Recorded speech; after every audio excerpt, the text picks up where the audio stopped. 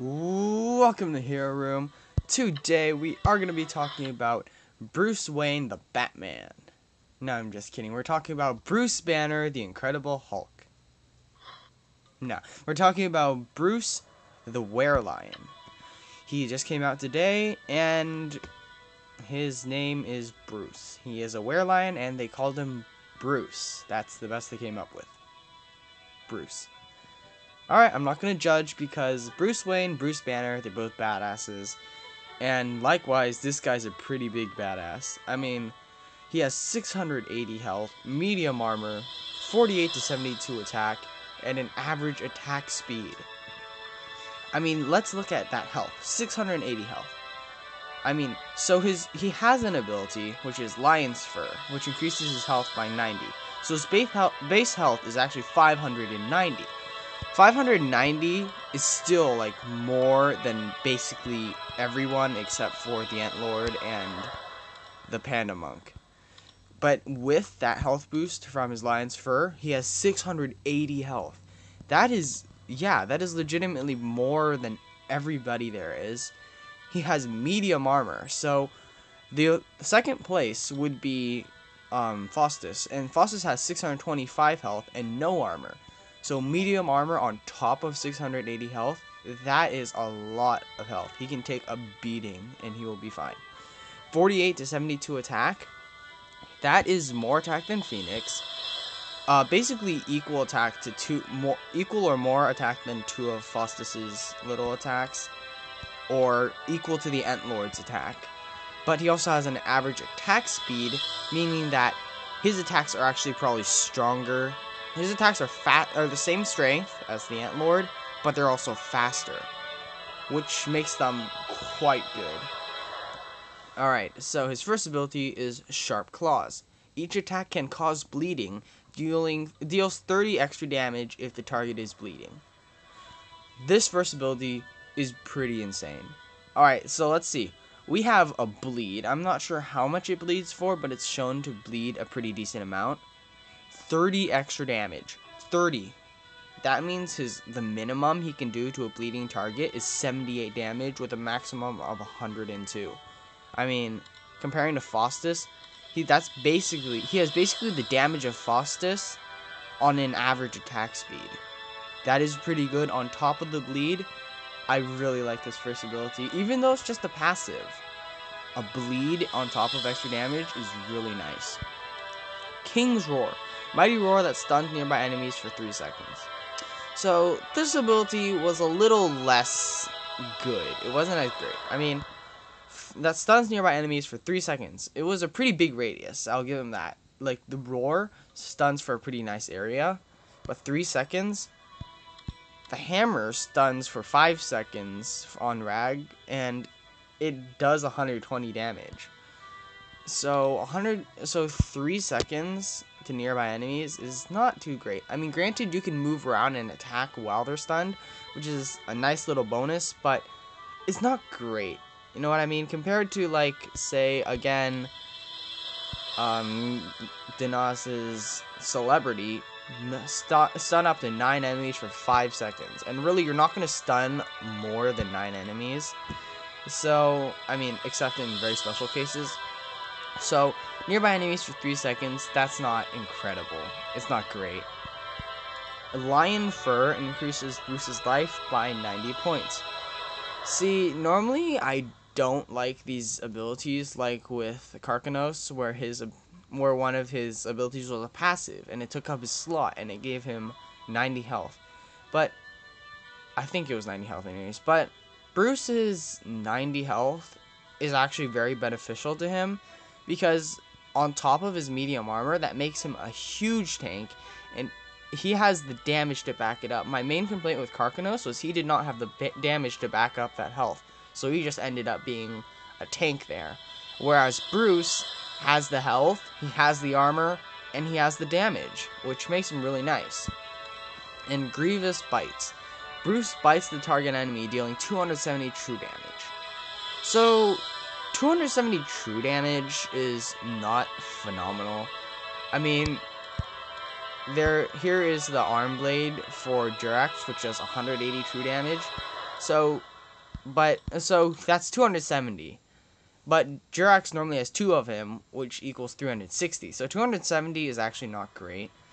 But it has he has shown to be able to spam it out decently. Not spam, I would say, as opposed to he's able to have it on a very short cooldown. So 270 true damage is a forgivable sin. It is not horrible, but I would not really put it in. I would maybe up the damage a bit, just a little bit, maybe to 300. So, Guardian Lions. This is a very questionable activated power. So, for all who don't know, activated powers are the powers that go along with lightning and with your reinforcements. You can place it down, and the effect will happen. So, Guardian Lions, when you put it down, summons four lions that deal 720 damage and disable their targets for 4 seconds. Summoning four lions that deal 720 damage in actuality, the 720 damage is is divided amongst those four lions. So they're not actually doing that much damage. They're all doing they're all doing a very little amount of damage. And like when you I mean they they don't they aren't able to hone in on one enemy.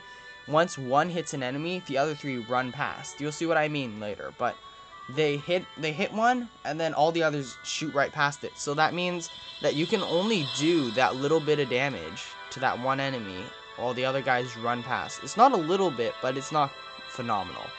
And it's and it snares them, or stuns them for 4 seconds. That's that's kind of nice. 4 seconds snare plus 720 damage altogether is forgivable, but it is really not great because there are other ways of stunning there are other ways of dealing damage. So you'll see you'll see what I'm talking about into this level. So I will be showing him off. Hmm, I think I'll show him off at Griffin Point.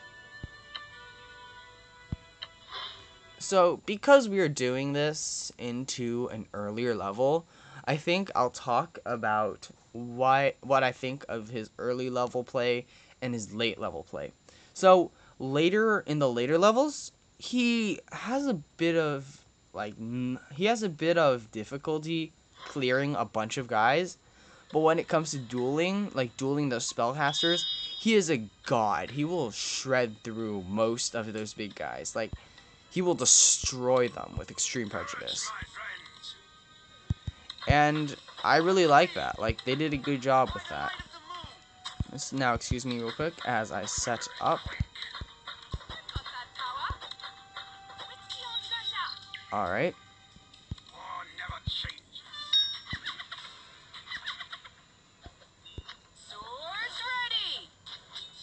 And as you can see, there's the King's Roar. It's not extremely effective because all he did really did was stun a bunch of little guys who probably weren't going to do much in the first place. But as you can see, his huge damage is showing right now as he's able to just melt a guy in one hit.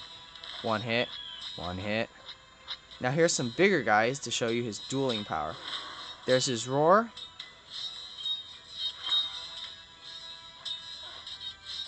And he really didn't use any abilities, so that's a little disappointing. Uh, I'll have to show this off later, and... Here, let's move him up to fight some elves. Here's his hero power. So as you can see, it's not like pathetic damage. It's not horrible by any by any means, but it's like not absolutely stunning. And there you saw his bite. Uh, I'll show. I'll keep showing it because you guys probably didn't see that. It's, it was really hard to catch, but he's not getting dented. He is not taking much damage. I'm gonna have to stop that real quick. We're trying to focus on this.